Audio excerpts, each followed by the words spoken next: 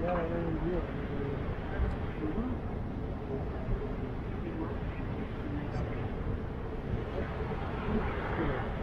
you.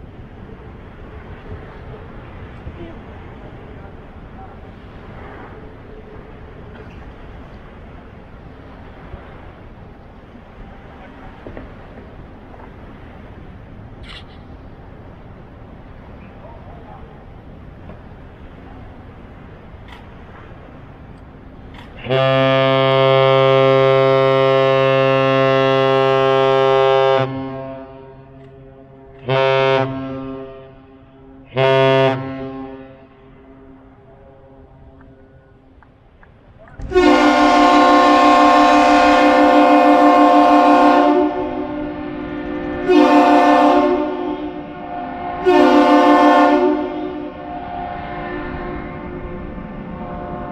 Good morning, visitors.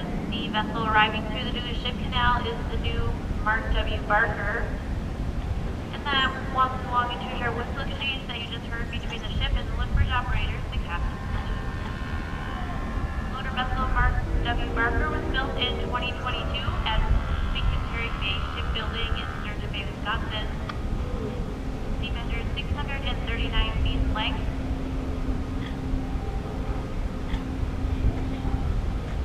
ship will carry all types of cargo throughout the freshwater lakes and river system, but was designed to navigate the tight beds of the Cuyahoga River in Cleveland. The vessel is named for Interlake president and second generation leader of the family-owned and operated Interlake steamship fleet. The Mark W. Barker is the first vessel built for Great Lake service in about 35 years.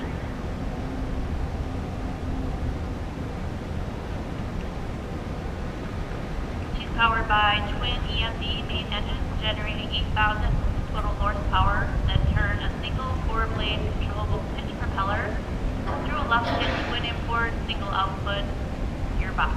She will have 10, or excuse me, 1,000 horsepower and Kongsberg bow and stern thrusters. And her hull has been optimized for efficiency and all systems have been designed to ensure low energy consumption.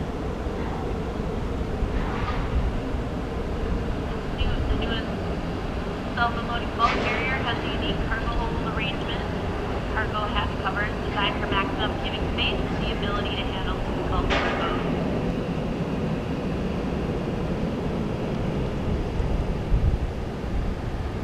The Mark W. Barker is in the Twin Ports today to load, or excuse me, to discharge salt at the Hallett A dock in Superior, Wisconsin. Once again, this is the Mark W. Barker, the newest vessel built for any U.S. fleet in about 30 years. Was built in 2022 in Bay, Wisconsin, and measuring 639 feet in length, 78 feet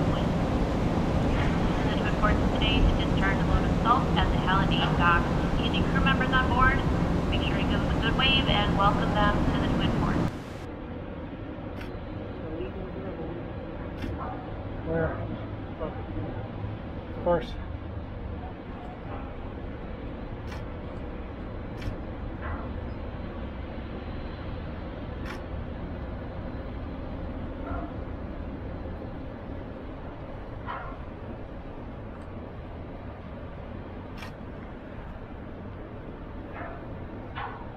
Neat.